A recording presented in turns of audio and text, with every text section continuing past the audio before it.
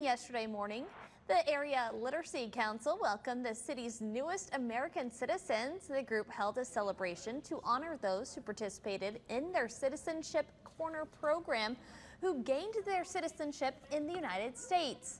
Those who went through the course learned loads of information about American history, government, and civics, something that the teacher for the program is proud of, and something that one recent graduate is proud to be part of.